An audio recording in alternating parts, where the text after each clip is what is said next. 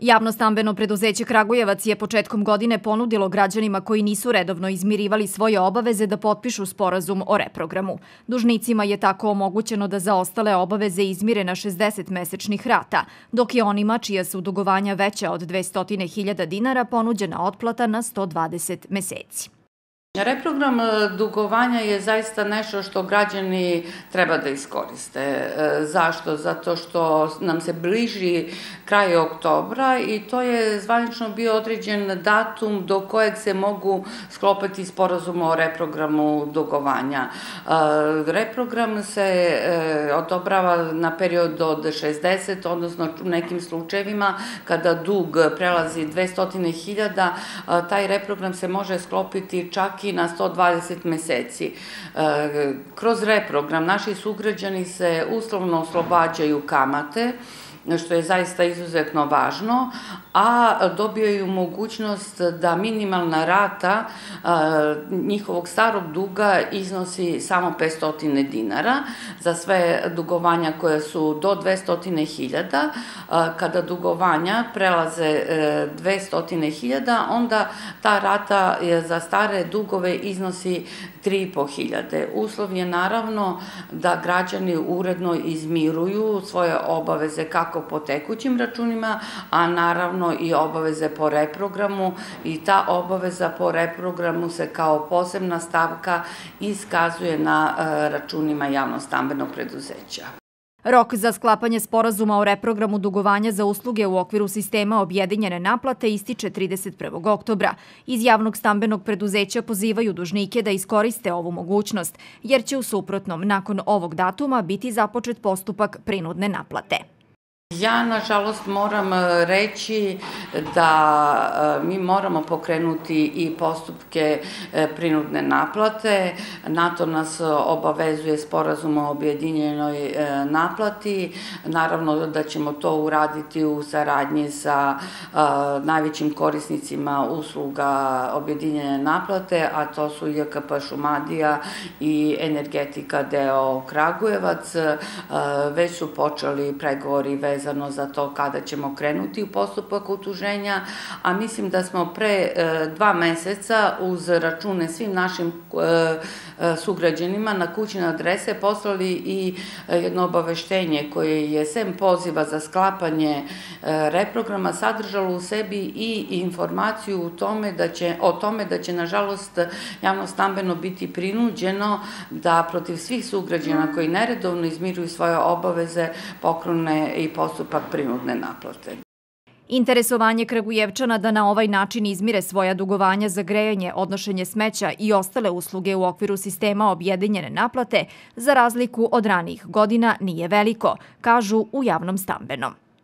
Za razliku od 2018. godine, kada je sklopljeno skoro 3000 sporazuma, ja moram reći da, da li je to usled ove vanredne situacije, da nam je odaziv u ovom slučaju u 2020. godini znatno manji, e, bez obzira što vremenski on duže traje, jer ovaj postupak reprograma e, mi sprovodimo od februara pa evo sve do 31. oktobra, a taj broj je negde oko 700 e, sklopljenih e, reprograma.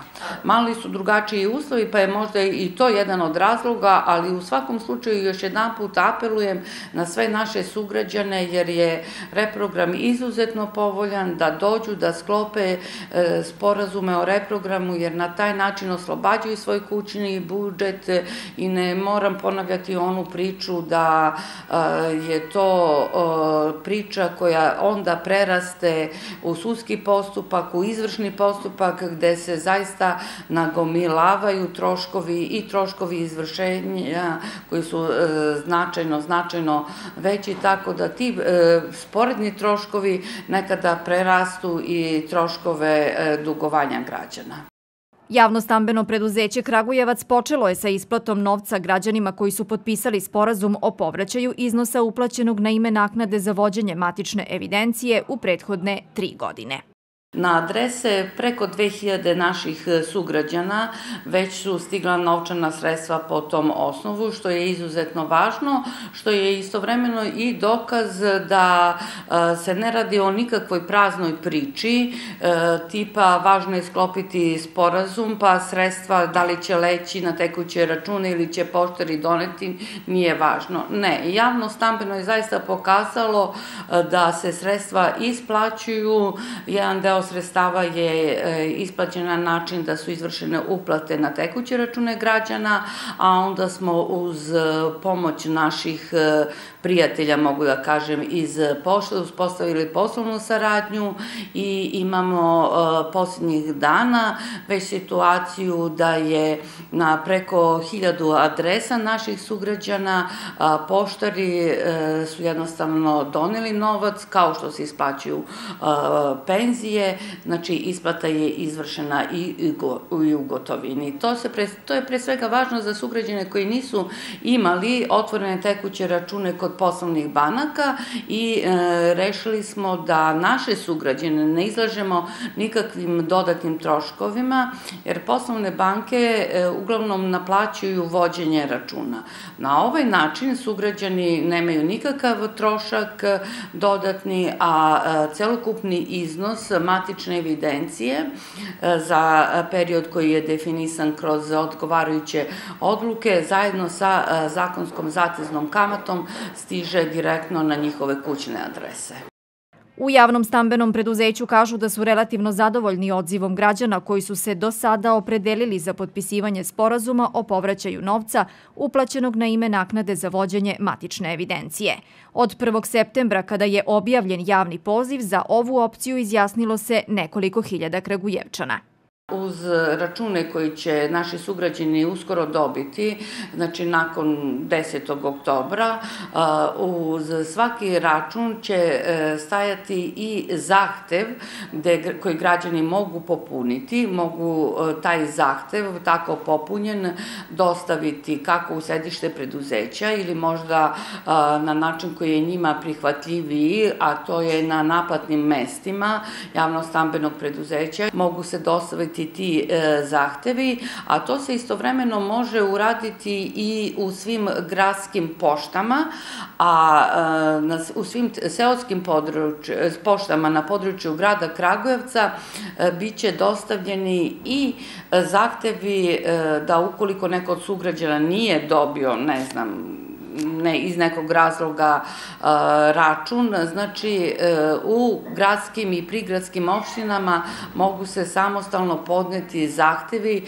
koji će ih čekati na šalterima pošte, nakon toga mi e, sakupimo sve te zahteve, jednostavno ih obradimo, u e, sedištu preduzeća i e, pozivamo naše sugrađane da se određenog dana e, jave ili u sedište preduzeća ili na našim naplatnim mestima da potpišu sporazume i na taj način opet skraćujemo taj vremenski period koji je potreban za potpisivanje sporazuma. Među Kragujevčanima ima i onih koji nisu želeli da potpišu sporazum o povraćaju novca, već su odlučili da to učine sudskim putem.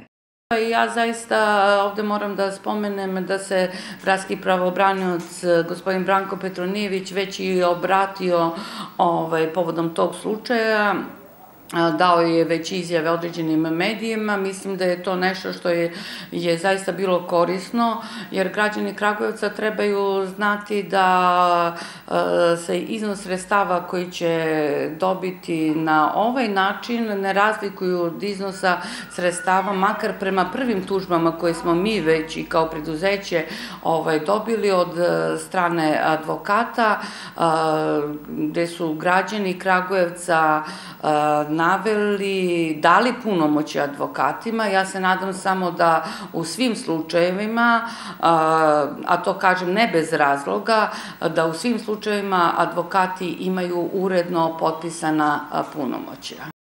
Podsjetimo, naknada za vođenje matične evidencije koja je na mesečnom nivou iznosila 49 dinara od jula ove godine više nije sastavni deo jedinstvene uplatnice za usluge u okviru sistema objedinjene naplate. Nakon uočenih nepravilnosti u pogledu obračuna ove naknade, javno stambeno preduzeće je odlučilo da je izuzme sa računa, uz obrazloženje da ovaj nenamerni nesporazum ni na koji način ne sme da se odrazi na prava građana.